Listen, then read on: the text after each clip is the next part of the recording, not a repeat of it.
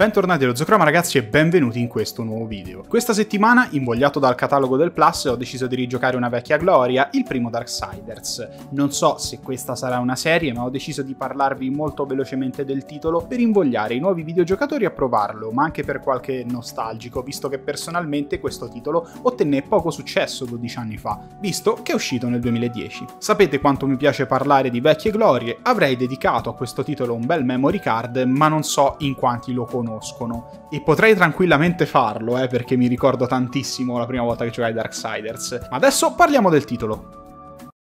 Darksiders è un action adventure in terza persona con protagonista Guerra, uno dei quattro cavalieri dell'Apocalisse, guerrieri scelti dal Consiglio, il cui compito è quello di preservare l'equilibrio tra inferno e paradiso. Nel giorno dell'Apocalisse, inferno e paradiso si fanno la guerra proprio sul pianeta Terra, con l'intento di prevalere l'uno sull'altro. Ed è lì che arriva il cavaliere, con una sorpresa però. Scopre di essere l'unico dei quattro ad essere stato evocato. Guerra a questo punto indaga, ma nel caos generale viene sconfitto da Straga, uno degli eletti del distruttore, un'entità potentissima. Guerra viene salvato e portato davanti al consiglio, dove lo accusano di aver scatenato l'Apocalisse. Il cavaliere, che non accetta di prendersi colpe che non ha, chiede la possibilità di poter tornare sulla Terra per sistemare tutto e indagare. Il consiglio accetta e la storia ha inizio. Non mi soffermo troppo sulla lore, ma fidatevi che la trama generale, proprio la storia, è fantastica ragazzi, accompagnata poi da un comparto artistico e visivo che si amalgama alla perfezione con il level design.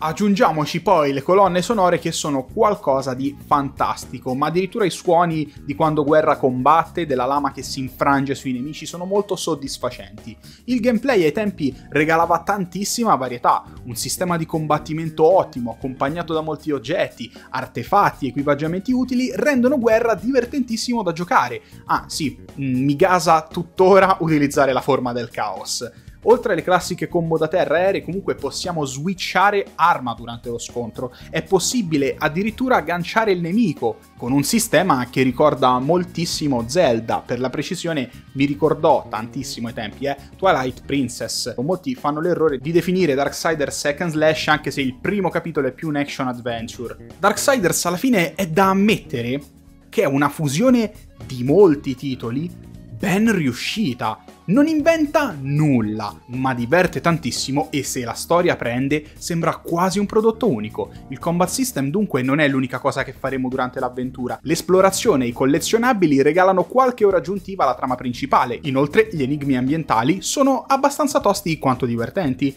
Le boss fight non sono nulla di complesso, invece nemmeno quella finale, e ve lo dice uno che il titolo ha terminato a difficoltà apocalittica, eppure sono maledettamente sceniche. La mia preferita, cosa molto strana visto che amo combattere solitamente in un classico 1v1 facendo più combo possibili, è quella contro lo Stygian, questo verme gigante, passatemi il termine, che cavalcando rovina il cavallo fidato di guerra viene battuto tramite l'utilizzo di una pistola. Rimane scenicamente e proprio nel complesso una bellissima boss fight.